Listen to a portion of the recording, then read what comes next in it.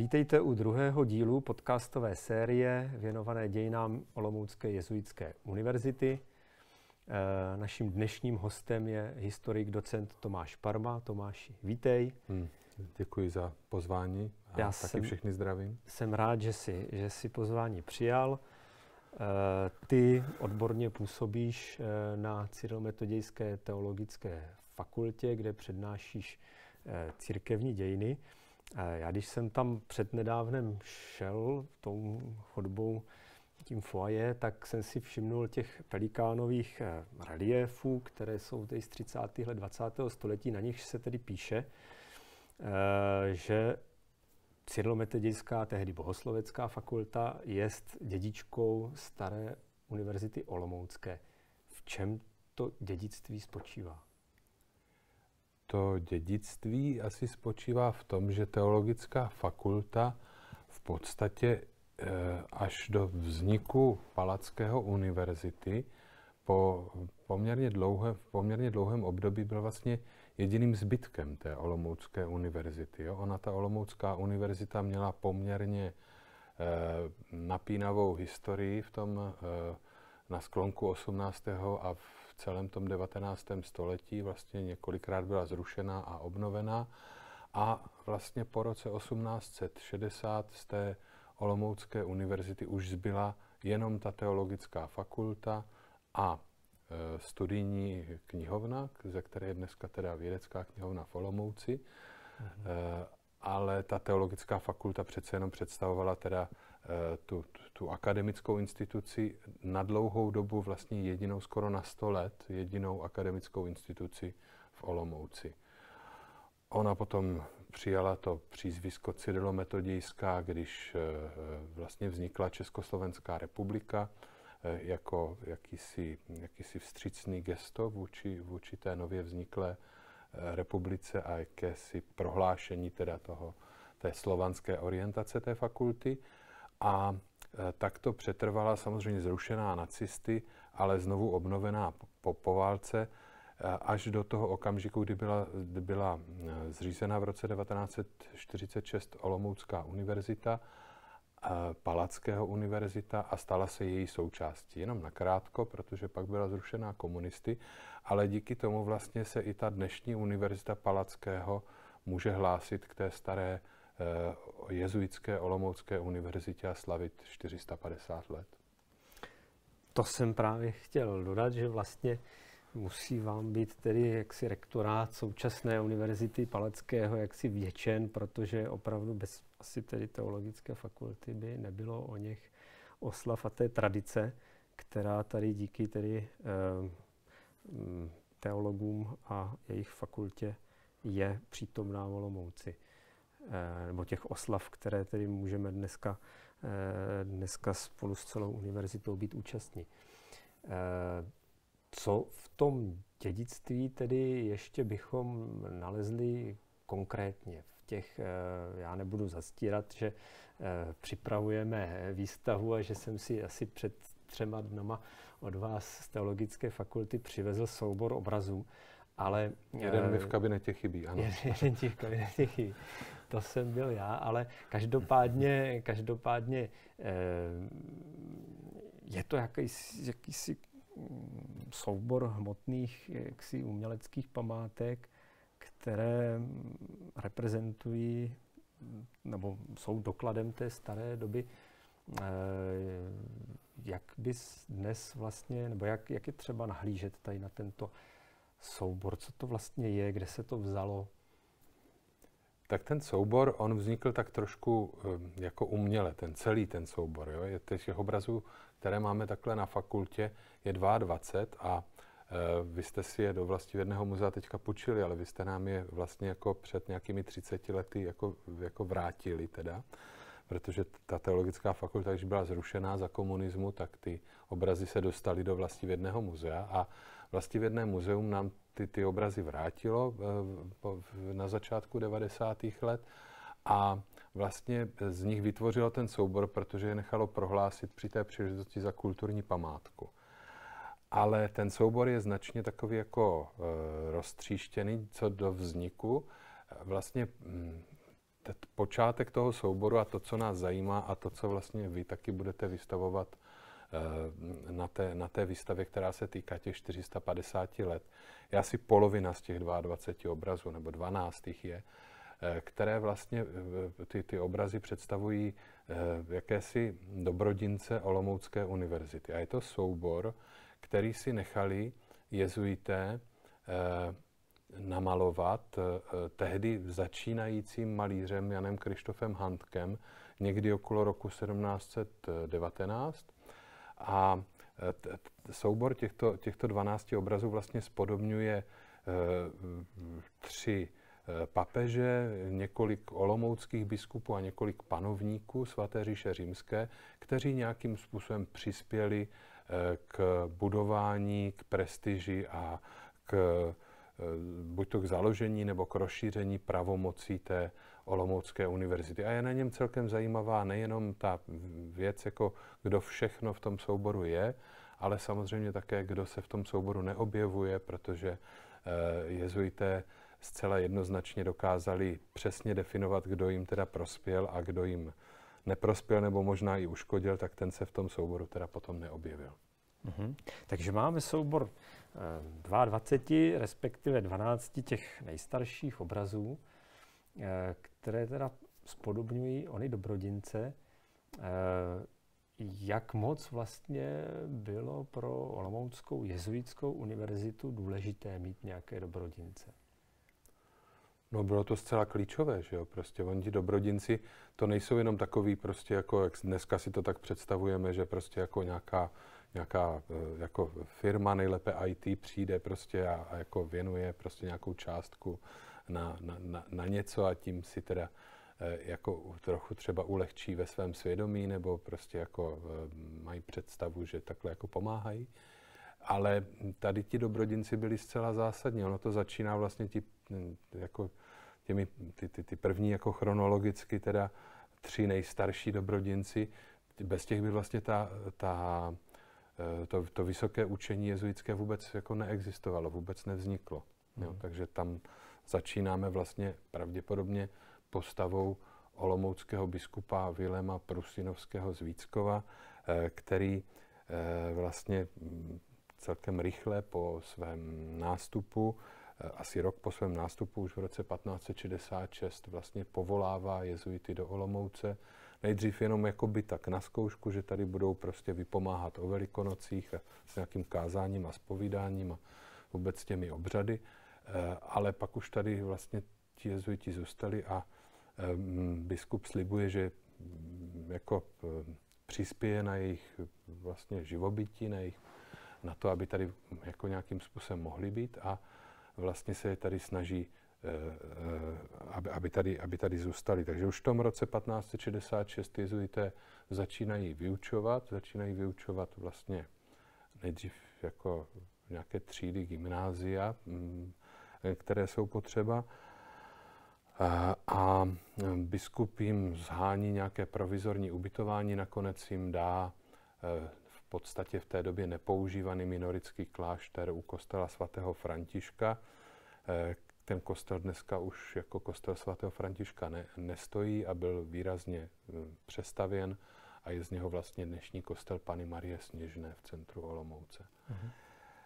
A takže Prusinovský vlastně, jako by jsem ty jezuity povolal, e, nějaké provizorně ubytoval, dal jim taky nějakou dotaci v roce 1570, kdy teda jim vlastně Eh, na provoz teda té, té, té, té, té koleje a na to, že ta, že ta, že ta kolej bude, vlast, bude eh, zajišťovat výuku nejenom gymnaziálního, ale také už teda tu vysokoškolskou výuku.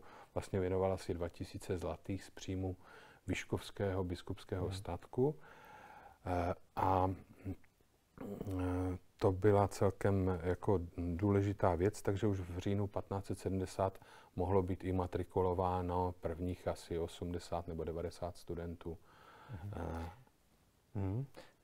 Asi, když se teď jako nad tím přemýšlím, tak Vilém Prusinovský teda musel mít teda poměrně hodně energie, aby tedy jaksi prosadil jednak svůj záměr a jednak vlastně musel být asi i hodně moderně smýšlejícím biskupem, když tedy řekněme relativně mladý řád, ale asi mm, jo, dobová pověst jezuitech, jezuitech byla eh, velmi rychle šířena po celé Evropě pozitivní pověst, tak asi musel k ním někde přičichnout. On, on byl někde v kontaktu s jezuity předtím? Já myslím, že on studoval u jezuitů, takže, jezuitu. takže, takže on, ty jezu, on to jezuitské školství znal, že jo, prostě bylo to, ano, samozřejmě, samozřejmě jsme relativně krátce po založení vlastně jezuitského řádu, ale ti jezuité už jaksi na mnoha místech slaví úspěchy, že jo, v Praze už jsou skoro 10 let v tom roce 1566. Eh, takže, takže jako je, to, je, to, je to řád, který je, který je už jako v této době známý a ví se, že poskytují teda jako kvalitní, eh, kvalitní vzdělání. A Prusinovský taky nastoupil jako olomoucký biskup relativně skutečně, skutečně hm, mladý a byl to teda takový jako už ten energický stoupenec té, té katolické reformy a dlužno, při, dlužno taky říct, že vlastně eh, je obdivuhodné, co všechno stihl za po, dobu poměrně krátkého episkopátu, jo? protože ten jeho episkopát vlastně trval nějakých sedm let. Eh, on zemřel v roce 1572, v polovině roku 1572 eh, a to je vlastně, takže, takže už se nedožil vlastně toho, jak působili ti další dva chronologič, chronologicky um, dobrodinci, a sice cís, papež eh, Řehoř XIII., který potvrdil tady tuhle jeho fundaci v roce 1573 na začátku, a potom taky císař Maximilián II., který tu fundaci potvrdil na sklonku toho roku 1573, ale přidal k ní jednu důležitou věc, na kterou, který měl právo jako, jako císař svaté říše římské, tedy eh, přidal k ní vlastně pravomoc eh, m, promovat studenty té jezuitské mm. akademie nebo toho jezuitského vysokého učení k těm doktorským grádům z filozofie a z teologie. A tohle to vlastně udělalo z té jezuitské koleje skutečně to vysoké učení. Takže proto vlastně slavíme ten rok 1573 jako rok založení té, mm té mm, olomoucké nebo olomouckého vysokého učení, protože, protože právě v téhle době ta jezuitská kolej, která mm, se věnuje vzdělávání studentů, dostává vlastně ta promoční práva. Mm-hmm. Ale Prusinovský se toho už nedožil. Tady tohoto tedy hmm. jaksi aktu ze strany císaře Maximiliána a musel mít tedy nějakého svého nástupce, který tedy v jeho šlepě jich kráčel dál na tom biskupském stolci asi. Určitě, určitě těch nástupců tam bylo, ten, ti nástupci se tam potom jako střídali poměrně rychle. E, my je máme taky na těch obrazech, eh, v tom, eh, tím jeho bezprostředním nástupcem, e, pokud se nepletu, byl Jan Grodecký, mm. jo. E, a ten, ten vlastně hm, požádal i papeže, i císaře o o to, aby, po, aby se pokračovalo v, vlastně v té, v, té, v té konfirmaci, v tom potvrzení toho, té, té, té fundace Prusinovského, kterou už o to požádal už Prusinovský a ono se to táhlo u kurie. A, a takže, takže ten Grodecký, jak si v tom, v tom dále pokračovali, to zase, zase další z těch portrétů, které mm-hmm. tam máme, ale mm, Tohle je doba, kdy se teda ti olomoučtí biskupové střídají skutečně jako velmi, velmi rychle. Hmm. Jsou tam vlastně, je tam Prosinovský, který zemře velmi mlád a e, potom, potom je tam, je tam Krodecký a e, další jeho nástupci. A tihleti nástupci pravděpodobně teda byli e, e, otráveni. Mm.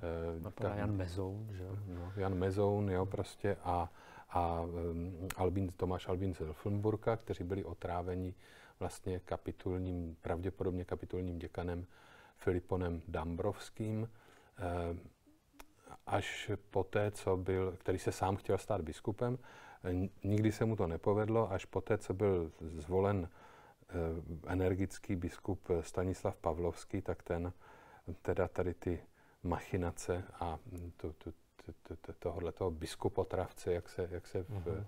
v historiografii nazývá, vlastně odhalil a nechal ho, nechal ho popravit, takže biskup, Prusinov, biskup Pavlovský už potom vládl velmi jako relativně dlouho a, nebo byl biskupem relativně dlouho a přežil to potom do poměrně vysokého věku. Je. Takže vlastně kolem založení jezuitské e, akademie vysokého učení se ještě rozplétá další jaksi detektivní zápletka, bychom hmm. řekli, která tedy e, si zapojuje olomoucké kanovníky a, a biskupy kteří tedy, jak si řekl, byli asi ti důležití podporovatelé toho jednak mladého jezuitského řádu a potom tedy i té univerzity. Ehm, byla ta ta naha těch eh, biskupů, nebo takhle, do, do, dostačovalo by to vlastně, my jsme slyšeli, že ještě kromě biskupů se tam myhnul, myhnul císař, ale asi bez té světské pomoci by ta, by ta rodící se univerzita taky nepřežila. Určitě ta světská pomoc byla, byla naprosto nutná a ještě k těm kanovníkům dlužno říct, že oni samozřejmě s každým jako nějakým významnějším zásahem do financí biskupství museli souhlasit. Ostatně i na té, mm-hmm. na té fundační listině Vilema Prusinovského nalezneme teda vlastně jakousi eh, potvrzující doložku, kde jsou, podep, jsou na ní podepsaní všichni olomoučtí kanovníci, celá olomoucká kapitula, protože skutečně pro nějaký výraznější zásahy eh, do, do, do, do biskupského majetku a roční důchod 2000 zlatých takovým zásahem je, tak eh, bylo potřeba, bylo potřeba potvrzení, potvrzení kapituly.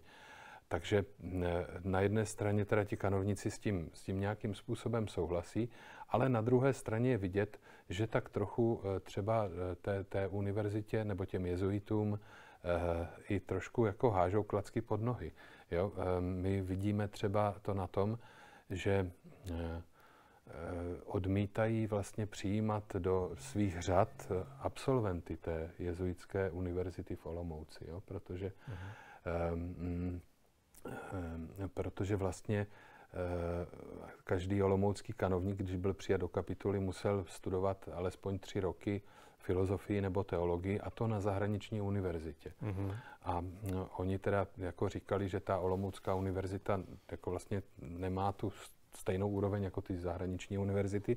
Takže to jezuity, jezuity potom vyprovokovalo k tomu, eh, k tomu že že, že, že, že chtějí od dalších císařů třeba potvrzení těch privilegií. Hnedka od Rudolfa, Rudolfa II. v roce 1581 vlastně po něm chtějí a tím potvrdí a, a, a tam to, to, tohleto privilegium a potom ještě od dalších panovníků až, až do, do vlastně Matyáše II., kde je vždycky řečeno, že vlastně jako ty, ty grády, které uděluje ta Olomoucká univerzita, jsou na stejné úrovni jako jakékoliv jiné Evropské univerzity, mm-hmm. do, jako dokonce Maximilian eh, Druhý to vyloženě říká na, uni, na jako všechny univerzity v Německu, Itálii, Španělsku a Francii, čili prostě jako velmi, velmi široce to definuje, aby vlastně ti absolventi se potom mohli stávat i těmi olomouckými kanovníky, protože to teda jako Eh, těm jezuitům hodně vadilo, že to, že to jako ta kapitula takhle trošku bojkotuje. Jako, mm-hmm. no. Ono se to potom jako povedlo, teda, že pár eh, absolventů eh, Olomouckého vysokého učení se stalo, se stalo teda i olomouckými kanovníky. Mm-hmm. Když jsme u těch počátků, vlastně teďka v tom 16. století počátku Olomouckého vysokého učení, ta Olomoucká univerzita, eh, mně se zdá, že vlastně nikdy ten její proces eh, založení nebyl tak, že by najednou lusknutím prstu eh, jsme měli univerzitu se všemi právy a privilegii, že, že to byla vlastně jakási cesta postupných kroků, kdy se vlastně univerzitní učení v Olomouci etablovalo a formovalo. Ty si to konec konců vlastně i zmínil těmi postupnými jaksi, kroky ze strany, ze strany císařů. Dá se vlastně někdy eh, časově říci, nebo časově zařadit, tak teď už máme jaksi Olomouckou univerzitu eh, opravdu řekněme, plnoprávnou univerzitu tak, jak opravdu by měla být se vším všudy? No je to, je to takový vlastně jako postupný růst, jo, bych to tak řekl. Eh, na začátku stojí ta jezuitská kolej, která nejdřív jako vyučuje to gymnázium, že jo, prostě a potom začne vyučovat teda i ty studenty, v okamžiku, kdy na to začne mít peníze, kdy ten biskup ty peníze vlastně jako dá, nebo aspoň slíbí. A e, takže, takže začne vlastně jako, jako od toho okamžiku bychom mohli začít mluvit o vysokém učení, které teda o něco málo později je nadáno teda těmi promočními právy. Eh, ti studenti už tam byli, protože zkrátka dobře už mohli studovat, ale eh, museli by asi, kdyby k tomu nedošlo, promovat někde jinde. Takže v ten rok 1573 je skutečně jako rozhodující pro to, pro to promoční právo, což vlastně jako to staví na úroveň teda eh, těch vysokoškolských učilišť, tu, tu, tu jezuitskou hmm. kolej. No ale ještě pořád, jako si myslím, hm, a nejsem v tom sám, že si to myslím už vlastně jako dlouho, dlouho, jako někdy v 50. letech mě napsal takovýhle článek eh, třeba Zdeněk Kristen, který, který tady se zabýval i tímhletím. A e, vlastně ještě pořád nemůžeme mluvit o univerzitě, jo, protože oni, i ti, hm, i ti jezuité to tak jako měli, že vlastně jako to mělo určitou jako stupňovitost nebo gradualitu a e, ta, ta, ta univerzita hm, univerzita v, v uh, Olomouci, o té už potom můžeme mluvit až někdy v 17. století, zhruba 50 let vlastně po tom, co, co ta univerzita byla založena, eh, v okamžiku, kdy uh, Ferdinand II. Dává vlastně další takové jako velké jako privilegium a další jako velké velkou jakoby majetkovou dotaci, která spočívá především teda v tom vlastně panství Nový Jíčin, který, mm. jezuité, který jezuité dostanou. A díky tomu oni budou moct konečně vlastně jakoby vyučovat jak filozofii, tak teologii jako v plném rozsahu. To do této doby, těch prvních 50 let vlastně ani jako nemohli. Tu teologii učili tak jako hodně okleštěnou nebo ostříhanou, jako v takové úplně základní verzi, eh, která mm, jako takřka s odřenýma ušima dostačovala pro tu kněžskou formaci těch kandidátů, ale v tom roce 1624 najednou začínají, najednou začínají mít dostatek peněz, aby měli víc jako vyučujících a mohli vyučovat celou tu teologii a tudíž můžou tu, to vysoké učení rozdělit na dvě fakulty. Na fakultu filozofickou a na fakultu teologickou. E, takže v roce 1628 poprvé vlastně je použitá pečeť v, v děkana filozofické fakulty. Eh, ono je to standardně vždycky na těch diplomech a eh, eh, museli nejdřív jako být vlastně dostatečně dostatečné množství studentů, kteří vystudovali tu filozofickou fakultu, aby mohli, protože to byl předpoklad vlastně k tomu, aby mohli studovat na té fakultě teologické a tam první pečetě po, po, použitá v roce 1630. Takže v podstatě zhruba někdy v téhleté době, až bychom mohli mluvit o, o univerzitě jako takové. Jo? Takže jsme e, od toho roku 1573 víc než 50 let, kdy mm-hmm. vlastně jako se ta, e, ta jezuitská kolej postupně stává vysokým učením, postupně získává další a další práva, další a další dotace na svůj provoz, protože mm-hmm. bez mhm. těch oni jezuité Eh, ty peníze potřebovali, protože oni vlastně to vyučování poskytovali zdarma. Mm-hmm. Jo, takže... Mm, to je podstatná záležitost, že mm. je zdarma výuka, kde brát peníze potom. Mm. Mm. E, takže když bych to tedy zhrnul, vlastně do toho roku cca 1630 by bylo správnější používat tedy buď termín vysoké učení, olomoucké jezuitské vysoké učení, nebo tedy jezuitská akademie jako, jako ten nejvyšší stupeň jezuitské školy, kde, kde, která poskytuje jako vzdělání. A potom až tedy o univerzitě je třeba hovořit až řekněme v tom 17. století. Hmm. Asi bych to takhle, tak to navrhoval ostatně i ten Zdeněk Kristen a hmm. já si myslím, že by se tomu takhle, s tím takhle dalo souhlasit. Ono zase i to slovo akademie, oni ho ti jezuité potom používají, on se objevuje třeba na pečetích rektorů, mm-hmm. jako ten, ten, ten, to označení akademie se objevuje i jako dál v tom 17. století, jo, takže ale to je jenom otázka spíš jako dobové terminologie a naší terminologie určitě. Mm-hmm. S tím, že už je to rozdělené na fakulty, tak už můžeme mluvit plně o, o univerzitním světě. Jako. Dobře, já bych se možná vrátil k tomu tématu přeci jenom dobrodinec a peníze, protože to se asi nabízí jako, jako v prvním plánu. Eh, ty jsi zmínil, že jezuitské školství bylo bezplatné. Jezuité samozřejmě mají nějaké nároky finanční, musí adaptovat asi budovy, že jo, konec konců, nicméně uh, asi tedy, když tak mě oprav, já, když jsem teď připravoval výstavu spolu se Zdeníkem Orlitou, tak jsme vlastně došli k závěru, že jako velkým problémem bylo vlastně sehnat dostatečné množství peněz pro obživu a prostě pro, eh, pro obživu těch studentů a pro zařízení, aby tady tedy mohli mohli nějakým způsobem vegetovat a, a, a, a žít. A aby vlastně se jim dostalo toho vzdělání, které tedy bylo požadováno ze strany biskupa, ze strany samotných jezuitů. Ehm, najdeme tedy v, e, ještě mezi těmi dobrodinci někoho, kdo by třeba v tomto směru byl, byl zásadní? No. Nebo, nebo důležitou, důležitou personou? No, já si myslím, že to, co eh, je důležité jako z hlediska toho finančního, jsou, je hm, eh, především to je dotace přímo pro ty jezuity. Mm-hmm. Jo, prostě to není ani tak moc dotace pro ty studenty, mm-hmm. ale, ale přímo pro ty jezuiti. Ti jezuiti potřebují někde bydlet, jako mm-hmm. potřebují někde mít možnost vyučovat. Jo.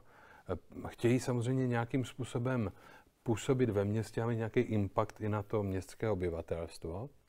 Proto potřebují nějakou rezidenci, proto potřebují nějaký kostel. Uh, a, uh, a, a vyučují zdarma, tedy tohle to všechno prostě je potřeba, aby, aby mm, tam byl dostatečný počet učitelů a pro, proto vlastně jako oni neučí tu teologii, protože nemají vlastně peníze na to, aby tam měli dostatečné množství těch, mm-hmm. těch učitelů. Takže Eh, je tam, je tam vlastně těch 2000 zlatých z příjmu eh, panství eh, ve Vyškově biskupského, které, které jezuité pravidelně dostávají. Biskup Pavlovský v roce 1590 přidal dalších 500 zlatých, s tím, že v téhleté době vlastně Olomoucké biskupství získává další statek poblíž Vyškova, zaniklý nebo zrušený klášter v Pustiměři mm-hmm. a Mm, takže má jakoby větší příjem a vlastně jako ta, tu, tu pustiměř, původně se dokonce uvažovalo o tom, jestli by ti jezuité nedostali jako to panství pustiměřské, ale to eh, myslím, že nějak jako se k tomu poměrně negativně postavila Olomoucká kapitula, takže k tomu nedošlo a dostali teda další jako navýšení toho důchodu. A k dalšímu navýšení toho důchodu potom došlo Eh, v roce 1614 eh, za eh, Františka Dietrichsteina, který jim mhm. teda věnoval dalších, dalších 500 zlatých. Takže už je to zhruba 3000 zlatých, všecko právě z příjmu toho jednoho panství, aby se to dobře odvádělo, jo, prostě vlastně hm, vždycky půlka té sumy se odváděla na svatého Jiří, půlka na svatého Václava, to bylo v té době celkem, celkem obvyklá záležitost. A pak tam byla ta otázka těch studentů. No ti studenti, kteří, protože ti samozřejmě neplatili za výuku, eh, za to, za to vzdělání jako takové, ale potřebovali někde bydlet a potřebovali jako něco jíst, že jo? Čili eh, to byla ta, to byla ta otázka a eh, ti studenti, kteří na to měli, si, ten, si vlastně jakoby ten pobyt v té Olomouci a v tom jezuitském konviktu, jako už tady můžeme použít to slovo mm-hmm. konvikt, který v Olomouci znamená nějakou budovu, ale který vlastně jako je vlastně takovým, jakým si dneska bychom řekli, nějakýma kolejema. Že jo? Mm-hmm, prostě, kolejema, mhm. internátem. Nějakým internátem pro ty studenty, kteří si to můžou dovolit. Jo? Mm-hmm. Pro ty studenty, kteří si můžou dovolit platit eh, ošacení, eh, platit eh, jídlo a platit teda za to, za to, za to ubytování. Pak je tam další část studentů, kteří si to kteří si to třeba úplně dovolit nemůžou a kteří, protože směřují k té církevní dráze, tak jsou nějak jako prostě dotovaní, dotovaní ze strany mm, biskupa nebo ze strany jednotlivých kanovníků, kteří třeba jako mm, věnovali určitou sumu peněz a z jejich úroků třeba mohli žít jeden, dva studenti nebo osm mm-hmm. studentů někdy. Těch takovýchhle dotací bylo víc. A pak jsou tady ještě takový folomouci, ještě taková hodně specifická věc, eh, která vlastně eh, vznikla, eh, která vlastně vznikla v roce 1578 a to je papežský seminář, mm-hmm. jo, kdy teda vlastně vzniká to, čemu se říká Collegium Nordicum, soubor vlastně jakoby, mm, nebo jakási dotace ze strany papeže, skutečně teda ze strany, je to, je to papež Řehoř 13. opět, který, který vlastně jako funduje tady tuhletu, tenhle ten papežský seminář, který měl sloužit pro vzdělávání lajků, nikoli teda duchovních, ale pro vzdělávání lajků ze severských zemích, proto Collegium, Collegium Nordicum, které nebyly katolické, že jo, ať už to byly třeba skutečně teda jako ty země skandinávské nebo, nebo, nebo Finsko a tak podobně, po případě, po případě i ty slovanské země, jako bychom řekli dnes, dnešní Ukrajina třeba nebo Rusko, uh-huh. kde teda ti studenti měli studovat jako lajci, na, měli dostat určité kvalitní vzdělání katolické, teda na, na, katolické škole a měli se potom vrátit do svých zemích a působit tam jako katoličtí intelektuálové. Eh, takže eh, i tohle to byla další jako vlastně jako možnost, jak v Olomouci studovat pro toho mm-hmm. studenta, který na to třeba úplně neměl. A nebo na to třeba měl, ale zase využil třeba že tu možnost získat tady tohleto jakoby stipendium. A to, bylo asi pro 25 studentů tady v Olomouci, tady tohleto kolegium Nordicum. Takže ta, ta škála vlastně jakoby toho, jak ten student mohl, mohl studovat a jako, co ho to stálo, byla poměrně široká. Mm-hmm. No, kolegium Nordicum asi tedy, eh, když nad tím tak přemýšlím trošku, teda internacionalizovalo tu Olomouckou univerzitu do té míry, že vlastně jsem přicházel daleko větší množství tedy studentů z těch různých koutů Evropy. Mm, je vlastně ještě možná jedna taková otázka, kterou bychom mohli v rámci dobrodinců univerzity zmínit a e, to je e, vlastně otázka jurisdikce univerzitní a mm, jejího tedy vlastně deklarování ze strany Matyáše Habsburského který tedy, mm, my jsme ho tedy zařadili na tu výstavu tady s tímto jakýmsi ohledem. Je to vlastně věc, která eh, je pro univerzitu jako nějakým způsobem zásadní, nebo, nebo je to jenom nějaká věc, která bychom řekli, to je taková jako formalita vlastní jurisdikce? No, v raném novověku to určitě žád, jako, jako, jako není žádná, jenom jako ne, neexistuje formalita, která by nebyla zásadní.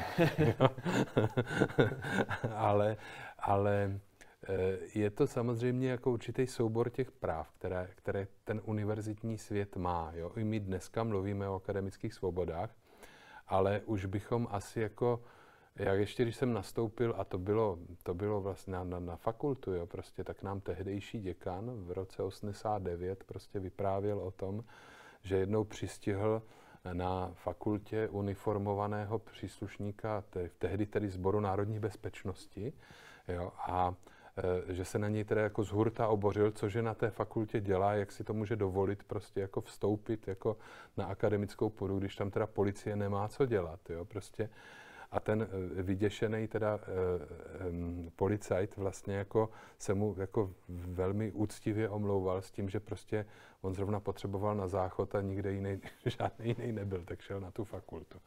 Ale to, to je teda jako, a to už dneska asi jako bychom si vůbec ani nedokázali představit, že prostě jako, že by třeba policie potřebovala jako zvláštní souhlas prostě akademických orgánů k tomu, aby mohla třeba jako dělat svou práci na univerzitě, když by to bylo potřeba. ale v, jako ještě, ještě, ještě ve 20. století tomu tak, tomu tak bylo. A mm, e, v tom 17. století samozřejmě e, to byla záležitost nesmírně, nesmírně e, e, třaskavá. Jo. A protože v té době to právo vlastně není, my jsme zvyklí na to, že vlastně právo je nějaká záležitost, která se týká uh, lidí, kteří žijou na určitém území, že jo, mm-hmm. prostě jako je plošná vlastně, jako, jo, čili že když něco uděláme škaredýho tady v Olomouci, tak nás bude soudit Olomoucký soud, nebo vyšetřovat Olomoučtí policajti a soudit Olomoucký soud. Ale v téhle době to tak nebylo. Ta právo šlo vždycky za konkrétníma lidma. Jo? Čili když někdo byl olomoucký měšťan, tak ho soudila městská rada. Že jo? Mm. A, a když někdo byl e, duchovní, tak ho víceméně soudil biskup. A, a když někdo byl poddaný nějakého šlechtice, tak ho soudil ten šlechtic. A do toho vstupuje ta olomoucká, nebo ta vůbec jako ten univerzitní svět a říká vlastně jako, že když teda je někdo student nebo profesor univerzity, tak eh, by ho měl soudit uh, rektor univerzity. Mm-hmm. A uh, takovým jako uh, vlastně jako hmotným projevem tady téhle jurisdikce, jo, té, té pravomoci toho, toho rektora univerzity, po případě teda hodnostářů fakultních, jsou potom ta žezla, že jo, která se nosí před tím rektorem nebo před tím děkanem, právě na znamení toho, že on má tu jurisdikci. Jo, mm-hmm. prostě je to vlastně to žezlo, eh, má tenhle ten, ten, jako původně tady tenhle ten, tenhle ten význam. A eh, proto vlastně to privilegium Matyáše II. ono vlastně bylo reakcí na jako určitý střety, který v téhle době jako, jako byly mezi Olomouckou univerzitou a jejími studenty a Městskou radou v Olomouci, kdy vlastně ono totiž, když to právo je zacílené takhle osobně nebo personálně, tak samozřejmě je velmi obtížný vždycky vyřešit ten spor těch jurisdikcí. Jo? To znamená klasický příklad, který může nastat že jo? a nastává právě a vy, vyvolává ty, ty, ty, ty, ty spory, e, spočívá v tom, že studenti jdou do hospody, že jo, prostě tam se jako prostě slovo dá slovo a pobijou se s měšťanama, že jo, prostě olomouckýma. A teď kdo má řešit ten spor, kdo má soudit vlastně jako, má to být teda ta městská rada, nebo to má být ta univerzita, nebo se to mají rozdělit, že studenti budou souzeni na univerzitě a mm, Ehm, měšťané budou souzeni prostě před městskou radou. Tam samozřejmě ehm, došlo k tomu, že ty studenty zavřeli do městského žaláře a díky tomu tam nastaly ty, ty, ty spory, ty konflikty. Dokonce došlo, ti studenti začali nějak stávkovat a odešli z Olomouce. Jo, prostě a, a to privilegium z roku 1617 e, Matyáše II. vlastně reaguje na tuhletu, na tuhletu situaci a potvrzuje vlastně to, co do té doby jako asi nebylo výslovně řečeno, jo, prostě, ale co hmm. asi ti jezuiti s tím jako víceméně, víceméně počítali. E, že teda mají tu jurisdikci nad svými profesory, e, to vyplývalo i z toho, že ti profesoři byli výlučně jezuité, takže jako vlastně ten rektor byl vlastně rektorem koleje i rektorem univerzity a byl vlastně představeným těch svých těch jezuitů, kteří tady byli a že jich tady nebylo málo v téhle době, jich mohlo být už jako v podstatě, v podstatě několik desítek, jako skoro stovka urč, možná, e, takže to nebylo málo. A pak tam byli ti studenti a mm, mm, ty vlastně jako ten rektor také soudí, e, dokonce se jaksi uvažuje o tom, a jezuité to i nějakým způsobem chtějí nárokovat, i když tomu nikdy teda nedošlo, že by měli tu jurisdikci, která by šla až teda k možnosti vlastně vynášení těch nejvyšších rozsudků, ale k tomu teda samozřejmě nikdy nedošlo ani k potvrzení toho, že by tuhle tu jurisdikci měli. On ten vývoj toho práva potom šel trošku jinou cestou, takže eh, to, o tom se potom jako i přestalo mluvit. Mm-hmm. Já už bych asi naše povídání směřoval k nějakému závěru. Když eh, si tedy eh, představíme tu plejádu těch dobrodinců, podporovatelů jezuitského učení a my jsme teďka některých se jako dotkli více, některých méně.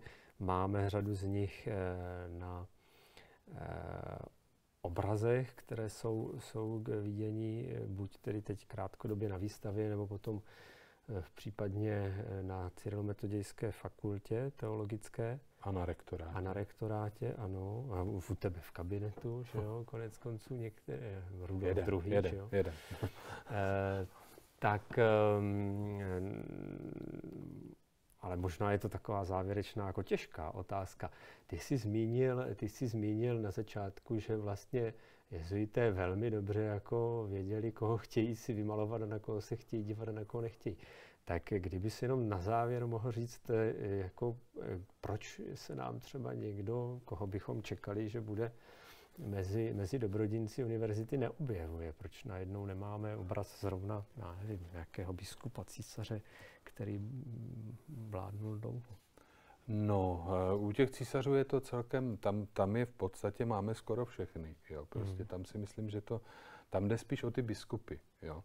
A první biskup, který se tam jako neobjeví, a je to, je to teda s podivem, je teda ten biskup Pavlovský. Mm-hmm. Jo, biskup Pavlovský v tom, v tom souboru není. E, můžeme samozřejmě o tom diskutovat, jestli náhodou tam původně nebyl, protože to je ten biskup, který jim teda v tom roce 1590 jako přiklepne jako navýšení té sumy, že jo, kterou oni dostávali od, od těch mm-hmm. olomouckých biskupů, takže bychom ho tam očekávali. Nicméně on se s těmi jezuity dostává i do sporu. Jo, a, mm-hmm. a to je mhm. asi ten důvod, proč oni ho tam nechcou.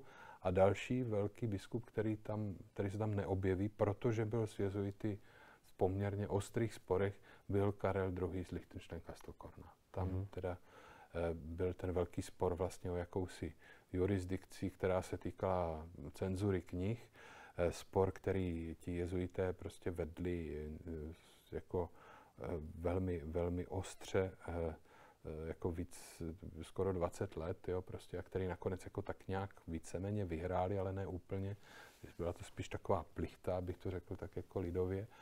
A, a ale, ale jako ten biskup, i přesto, že to byl jinak jako biskup, který jako ty jezuity mm, podporoval, tak se teda v tom souboru, souboru evidentně neobjevil.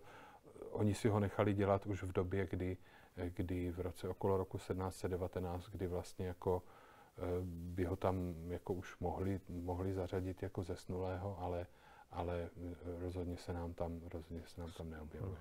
Ještě byla dost živá asi ta minulost. Ta, ta, ty spory byly asi ještě dost jako živé a, a ono to taky pokračovalo, protože pot, tam už se potom objevuje právě v rámci té cenzury knih, tak tam už se objevují potom takový první státní zásahy a snahy mm. o státní systematizaci, takže, takže tam je to možná i živé tady z tohoto hlediska. Mm. Říká historik Tomáš Parma, děkuju, že jsi přišel, že jsme mohli vést debatu o dobrodincích univerzity a že tedy na uh, fakultě stále opečováváte jedinečný soubor uh, obrazů těchto důležitých mužů vysokého učení v Olomouci. Já děkuji za pozvání a e, myslím, že se o ten soubor snažíme teďka starat jako hodně. Část ho skončí na rektorátě univerzity, ale Eh, Eh, doufám, že bude i dostatečně dobře prezentován v rámci, v rámci teda fakultních prostor.